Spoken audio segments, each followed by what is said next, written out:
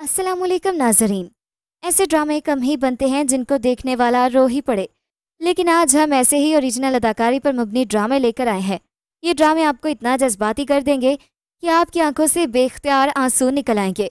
तो वीडियो शुरू करने से पहले आपसे दरखास्त है कि हमारे चैनल को सब्सक्राइब कर दें ताकि हमारी आने वाली तमाम वीडियोज़ का नोटिफिकेशन आपको मिलता रहे। नंबर टेन संगे माह ड्रामा सीरियल संगे माह का शुमार भी हम टीवी के जज्बाती ड्रामों में होता है। ये ड्रामा दो खानदानों के बीच में तसादम की तस्वीर खींचता है।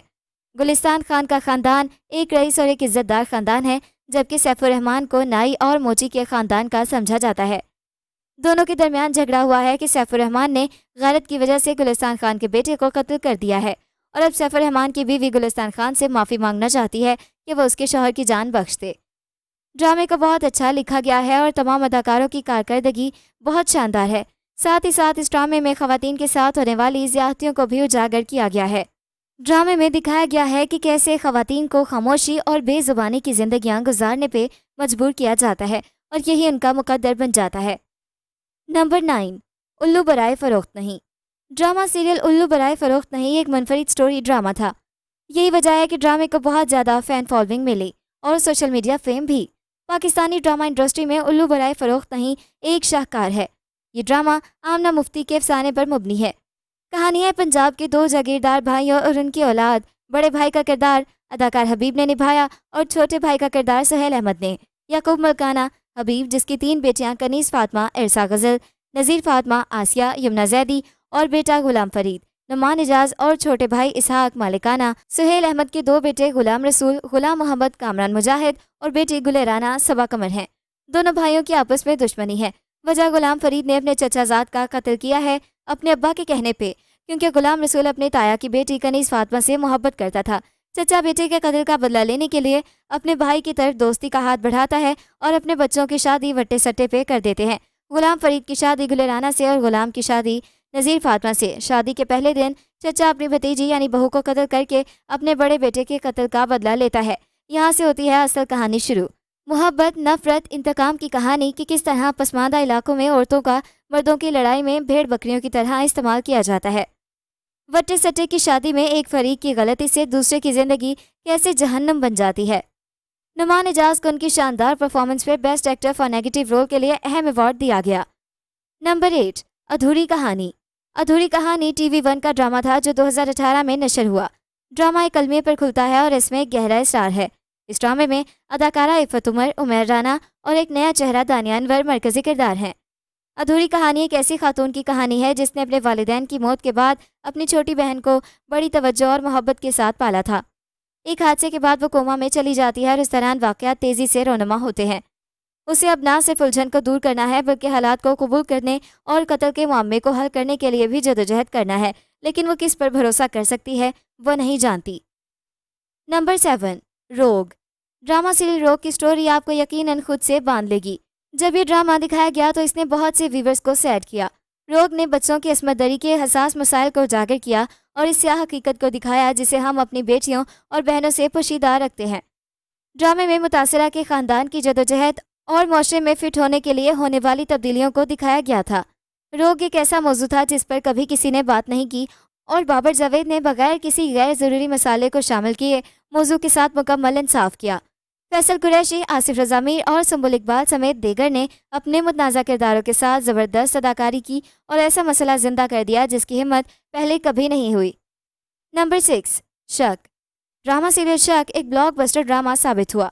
ड्रामा सीरियल शक 2013 का मशहूर ड्रामा सीरियल था। इसकी हिदायत अदाकार, प्रोड्यूसर यासिर नवाज़ ने दी थी। इस ड्रामे में आयशा खान, अदिल हुसैन और सदम सईद ने मरकजी किरदार अदा किए। ये सीरियल शाम और सानिया की ज़िंदगी के गिर्द घूमता है, जिसका किरदार अदील हुसैन और सनम सईद ने अदा किया। सहरिश यानी आयशा खान एक खुश मिजाज घरेलू खातून है, जो अपने शोहर से प्यार करती है। सानिया और अली जबरान भी एक दूसरे से खुश हैं, लेकिन माली मसाइल की वजह से उनमें इख्तलाफात होने लगे हैं। किस्मत की बदौलत दोनों ख़ानदान पड़ोसी बनकर मिले और सानिया के तमाम तहफ़ात के बावजूद दोस्त भी बन गए। लेकिन ये दोस्ती कुछ और रूप इख्तियार करती है जो कि काफ़ी अजीब हो जाता है। नंबर फाइव, दिले मजबूर। नो विवर चॉइस के लिए ड्रामा सीरियल्स में दिल मजबूर भी शामिल है। इस ड्रामे की कहानी मुआरे की अक्सी करती है। ड्रामा सीरियल दिले मजबूर की कहानी एक ऐसे शादीशुदा जोड़े के गिर्द घूमती है, जो शादी के बाद एक नाखुशगवार ज़िंदगी बसर कर रहे होते हैं। लेकिन अपनी बेटी की खातिर वो दोनों एक साथ रहते हैं। बिलाखिर वो दिन भी आन पहुँचता है जब ये दोनों अलहदगी का फैसला करते हैं और लड़की अपनी बेटी को लेकर अलग हो जाती है। लड़की यानी ईशल बड़ी होती है और वो रोहेल के इश्क में गिरफ़्तार हो जाती है। लेकिन रोहेल उसकी माँ यानी हिना को पसंद करता है। इसी दौरान फैसल हिना का शोहर की वापसी होती है और वो एक बार फिर हिना की वापसी का मंतजर होता है। इस ड्रामे में हिदायतकारी के फ़राइज बरकत सिद्दीकी ने अदा किए जबकि देगर कास्ट में अली खान, हमायूं अशरफ, ईशल फयाज शामिल हैं। नंबर फोर, सीरत। सीरत ड्रामा एक सैड तरीन कहानी है। इस ड्रामे में मारिया का किरदार किन्जा हाशमी का बेहतरीन किरदार था। मारिया, जिसका बाप मुसलमान और माँ ईसाई होती है। माँ के ईसाई होने की वजह से मारिया को अपने रिश्तेदारों की जानब से तनकीदी नज़रों का सामना रहा। इस सीरियल में किन्जा हाशमी के साथ हमजा फिरदोस, अली इंसारी सकीना खान, सीमी पाशा ने अदाकारी की।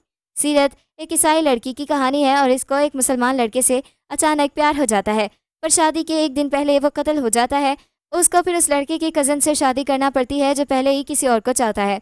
ड्रामा देखकर आप पर दुखी कैफियत ज़रूर तारी हो जाएगी। Number three Inkaar.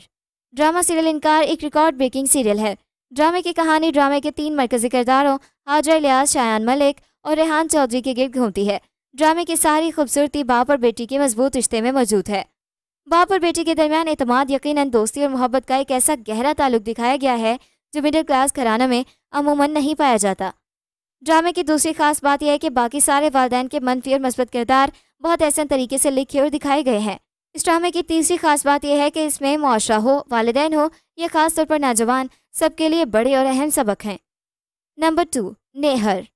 Drama serial Neher में सबूर अली ने अनमोल का रोल प्ले किया है। ड्रामे का आगाज़ एक खानदान के साथ होता है, जो अपनी बेटी तूबा के खो जाने का शोक मना रहा था, जिसे उसके ससुराल वालों ने कत्ल कर दिया था। जिसमें उसके शोहर मजहर शफात अली, उसकी सास इशरत मुनज़ा आरिफ और उसकी भाभी शामिल हैं। कानून, महविश, अनाया खान, मजहर और उसका ख़ानदान जहेज़ के कारोबार का हिस्सा है। इसलिए तूबा की मौत के बाद उन्हें कोमल यानी अरीबा हबीब मिल जाती है।